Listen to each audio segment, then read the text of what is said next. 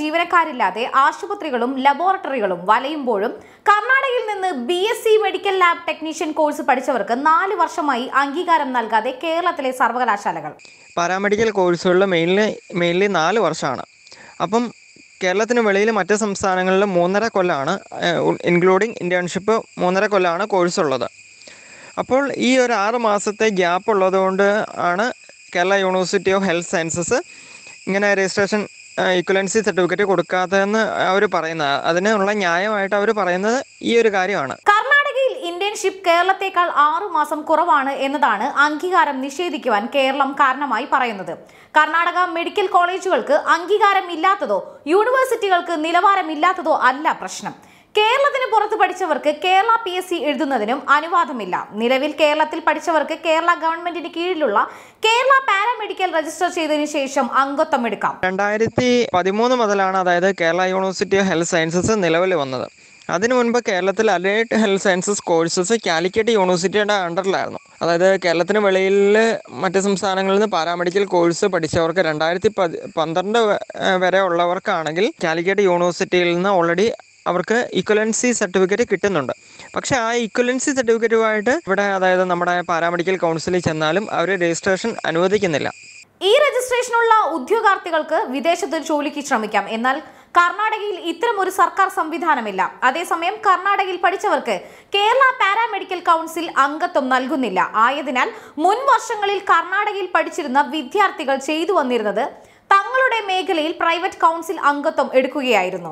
കുറച്ച് വർഷങ്ങൾക്ക് മുമ്പ് വരെ ഇത്തരം രജിസ്ട്രേഷൻ ഉള്ളവർക്ക് ഗൾഫ് നാടുകളിൽ ജോലി ചെയ്യാൻ അനുവാദമുണ്ടായിരുന്നു. പക്ഷേ ഇപ്പോൾ പ്രൈവറ്റ് അംഗത്വം അംഗീകരിക്കുന്നില്ല. National level paramedical council of India അങ്ങനെയുള്ള സംഭവങ്ങൾ അല്ലെങ്കിൽ സി എൽ പി എ പോലുള്ള സംഭവങ്ങളുണ്ട്. പക്ഷെ അതൊരിക്കലും ഗവൺമെന്റ് ഓഫ് ഇന്ത്യ അല്ലെങ്കിൽ റെക്കഗ്നൈസ്ഡ് അല്ലെങ്കിൽ അവരുടെ അപ്രൂവൽ ഉള്ള അവരുടെ അണ്ടറിൽ വരുന്ന കൗൺസിലുകളും കാര്യങ്ങളും അല്ല. അതെല്ലാം പ്രൈവറ്റ് അസോസിയേഷനുകളാണ്. ഇപ്പോൾ ഈ ഒരു അടുത്ത ഇടയ്ക്ക് രണ്ട് മൂന്ന് മാസം മുൻപ് തൊട്ട് പ്രൈവറ്റ് അസോസിയേഷനുകളുടെ രജിസ്ട്രേഷൻ സർട്ടിഫിക്കറ്റുമായിട്ട് പുറത്തേക്ക് മറ്റു രാജ്യങ്ങളിലേക്ക് ജോലിക്ക് പോകാനായിട്ട് ഡേറ്റ ഫ്ലോയ്ക്ക് ചെയ്തിട്ടുള്ള ഒട്ടനേകം ആൾക്കാരുടെ ഡേറ്റ ഫ്ലോയുടെ കാര്യങ്ങൾ റിജക്റ്റ് ആയിട്ടുണ്ട്. അതുപോലെ തന്നെ മറ്റൊരു കാര്യമാണ് നാഷണൽ അതായത് കൗൺസിൽ ഫോർ അലൈഡ് ഹെൽത്ത് സയൻസസിന്റെ ഒരു ബില്ല് ഓൾറെഡി പാർലമെന്റിന്റെ പരിഗണനയ്ക്ക് ഇരിക്കുന്നുണ്ടോ. ഓൾറെഡി രാജ്യസഭ ആ ബില്ല് പാസ്സാക്കി.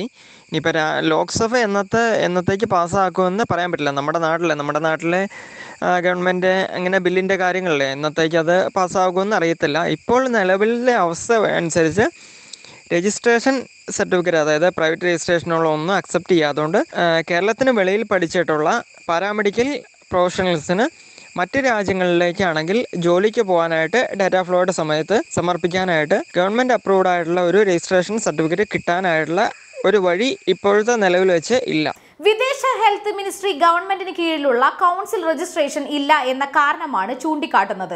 ഈ കാരണങ്ങൾ വിദേശത്ത് ജോലി തേടുന്നവരും ഇപ്പോൾ വിഷമത്തിലാക്കിയിരിക്കുകയാണ്. കേരളത്തിൽ പാരാമെഡിക്കൽ കൗൺസിൽ അംഗത്വം കൊടുക്കാത്ത കാലത്തോളം ഈ വിദ്യാർത്ഥികളുടെ ഭാവിയും വിദേശ ജോലി സ്വപ്നങ്ങളും വിദൂരത്തിൽ തന്നെ. ഇനിയൊരു സർക്കാർ കനിവിനായി കാത്തിരിക്കുകയാണ് ഈ വിദ്യാർത്ഥി സമൂഹം. അപ്പോൾ രണ്ടായിരത്തി പതിമൂന്നിന് ശേഷം കേരളത്തിന് വെളിയിൽ പാരാമെഡിക്കൽ കോഴ്സുകൾ പഠിക്കുന്ന വിദ്യാർത്ഥികൾക്ക് Kerala university of health sciences equivalency certificate കൊടുക്കുന്നില്ല.